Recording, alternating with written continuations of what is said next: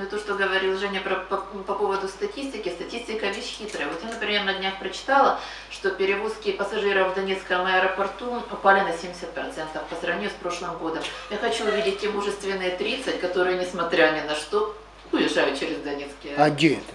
Это все причуды статистики.